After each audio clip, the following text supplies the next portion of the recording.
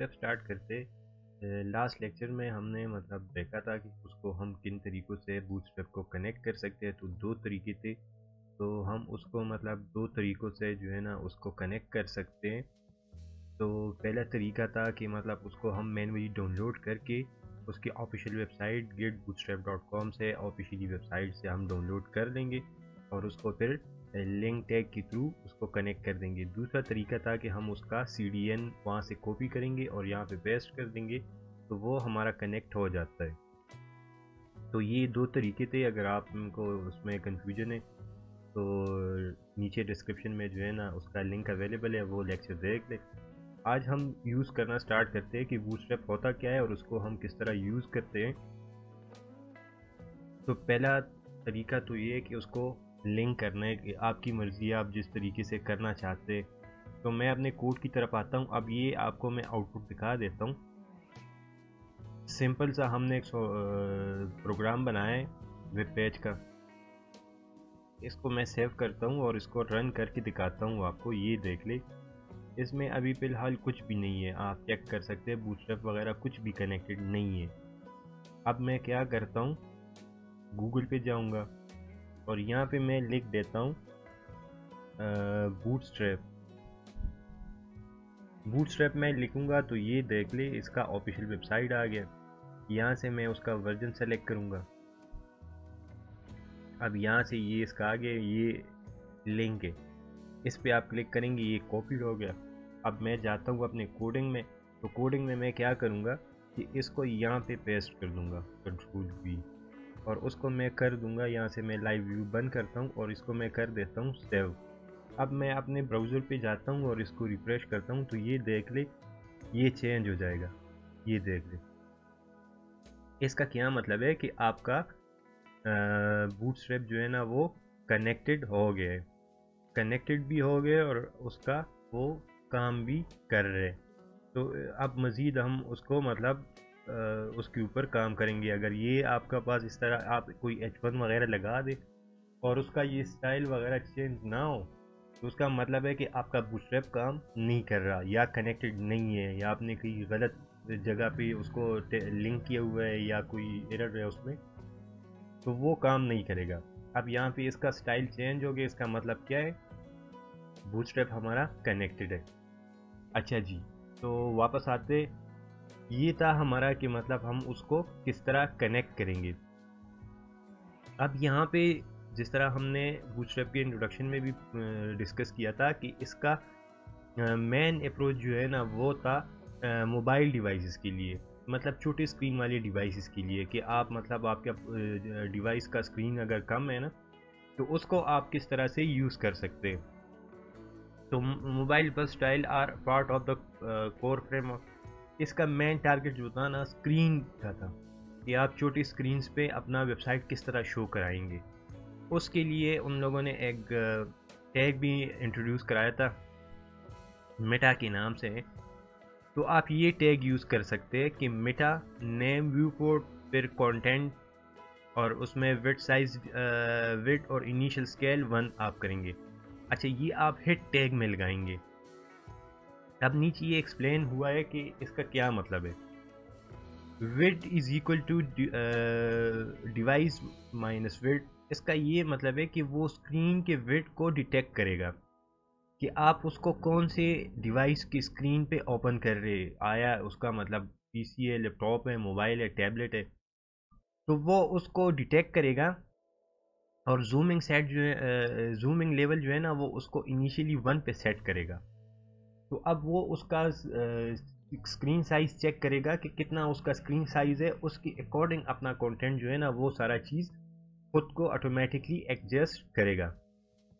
तो चलिए हम अपने वेबसाइट में पहले ये टैग लगा देते कि उसमें हमने लिखना है मेटा टैग मेटा टैग के अंदर नेम व्यू पोर्ट फिर कंटेंट और initial scale minus sorry one तो मैं कोडिंग की तरफ़ आता हूँ। यहाँ पे हेड टैग में आप लिखेंगे, आप कहीं पर भी लिख सकते हैं हेड टैग में वो रिस्ट्रिक्शन नहीं है कि आप ऊपर लिखेंगे या नीचे लिखेंगे। तो यहाँ मैं मेटा लिख देता हूँ।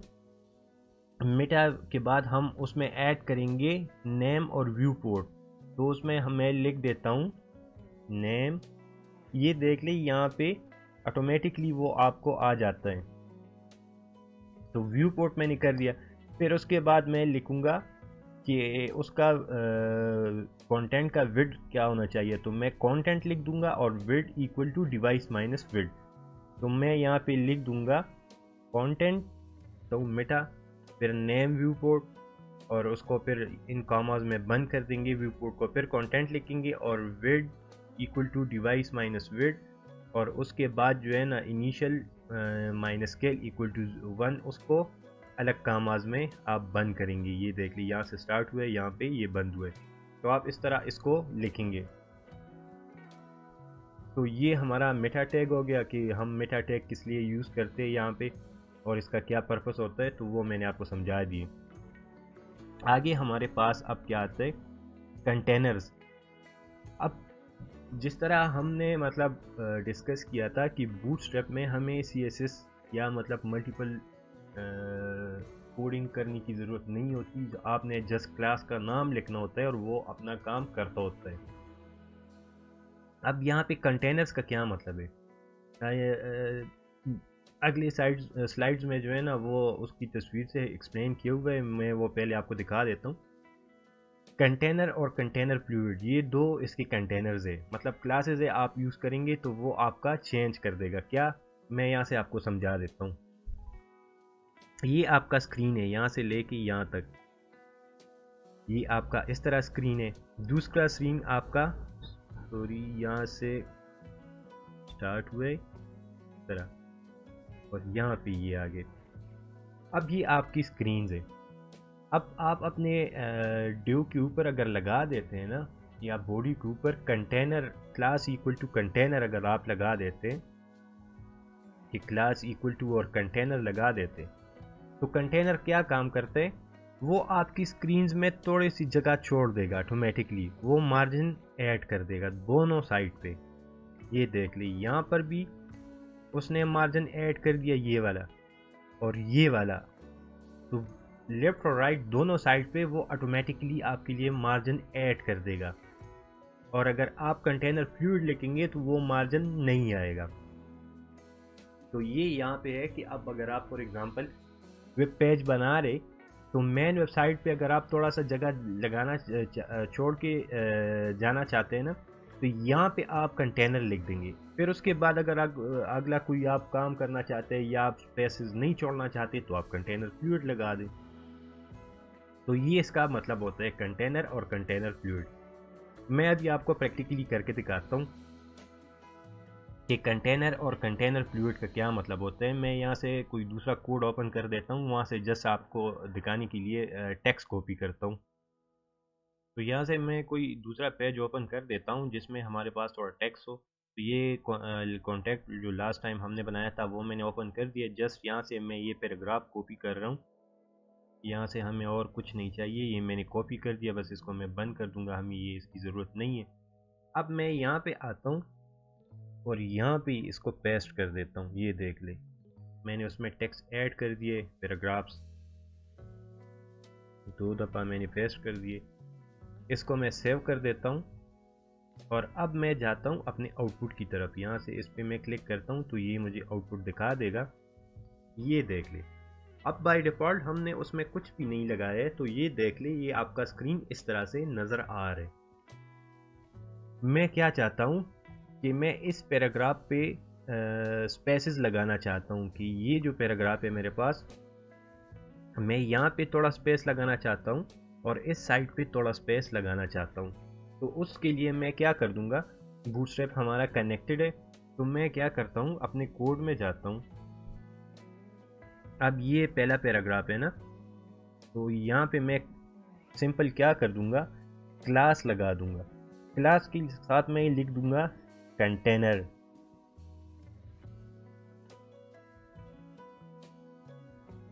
ये सिंपल आपने कंटेनर लिख दिया, लेकिन स्पेलिंग का आपने ख्याल रखना है कि अगर आप गलत स्पेलिंग लिखेंगे ना तो ये आपका काम फिर नहीं करेगा।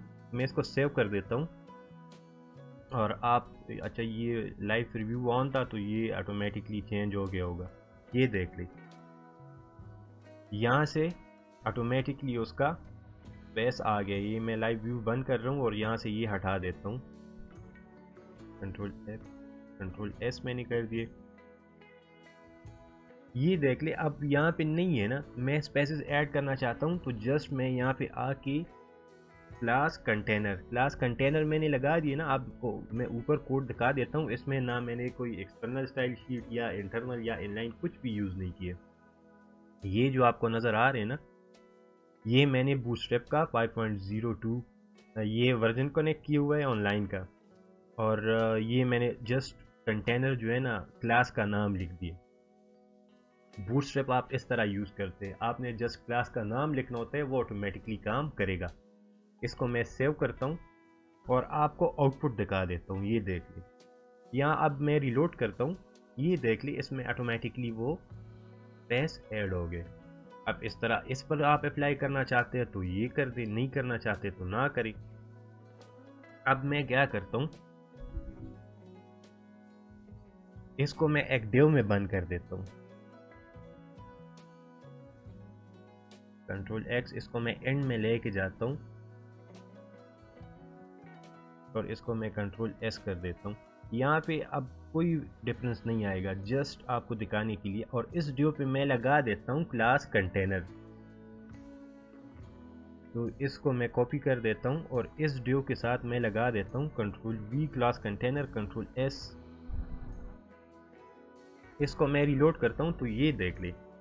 अब इसने क्या कर दिए कि पूरा जितना मतलब इस ड्यू के अंदर हम जो भी काम करेंगे, वो यहाँ पे नज़र आएगा मतलब ये स्पेसिस लेफ़्ट और राइट साइड पे थोड़ी थोड़ी स्पेसेस वो छोड़ देगा ऑटोमेटिकली तो ये हमारा था। अब यहाँ पे चूँकि ये देख लें, यहाँ पे हमने वो नहीं लगाया था तो वो स्टार्ट से। मैं H1 पे भी कंटेनर लगा देता हूँ। कंट्रोल V और कंट्रोल S मैंने कर दिए। अब मैं जैसी रिलोड करूँगा, ये भी यहाँ से स्टार्ट हो जाएगा। मैं रिलोड करता हूँ, ये देख ले। ये आगे चला गया इसने ये जो हमारे पास ये मार्जिन वाली एरियाज़ है ना, ये और ये, इसने ये हमें बना के ऑटोमेटिकली दे दी। हमने जस्ट क्लास का नाम लिख दिया। तो ये बूट स्ट्रैप का काम होता है। देख ली, यहाँ से ये आपको नज़र आ रहे कि हमने H1 के साथ भी लगा दिए। तो वो देख ले H1 भी यहाँ इस तरह से आगे आगे अब अगर मैं क्या करता हूँ, ये हटा देता हूँ। मैं क्या करता हूँ, मैं अगर पूरा का पूरा इसको हटा देता हूँ क्लास कंटेनर को मैंने हटा दिए कंट्रोल एक्स मैंने कर दिया कंट्रोल एस करता हूँ और इसको अभी रिलोड करता हूँ तो ये देख ली, ये वापस एंड पे चला गया मतलब स्टार्ट से ये शुरू हो गए तो ये क्या है कि ये इस तरह से अगर आप नहीं लगाएँगे तो इस तरह होगा। अब मैं क्या करता हूँ कंटेनर मैंने लगा दिए साथ में कंटेनर फ्लूट करता हूँ कंट्रोल एस करता हूँ अब रिलोड करूँगा तो थोड़ा सा स्पेस इसमें ऐड हो जाएगा। ये देख ली।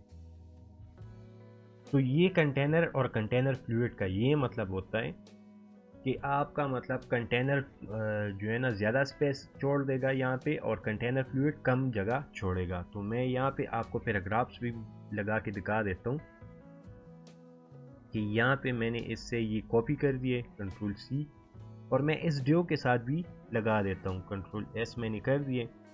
अब मैं रिलोड करूँगा तो ये जगह बहुत ज़्यादा है तो ये उसको कम कर देगा। मैं रिलोड करता हूँ। ये देख ले।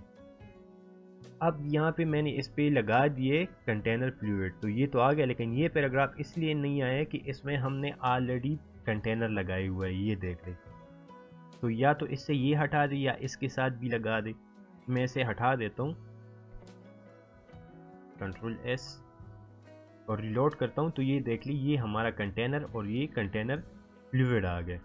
तो इसमें यही एक्सप्लेन किया है कि हम कंटेनर अगर लगाते हैं तो हमारा जो वेब पेज है ना, उसमें मार्जिन ऐड हो जाएँगे। कंटेनर नहीं लगाएँगे तो उसमें अलग से फ्लूड लगाएँगे तो स्पेस कम ऐड होगा।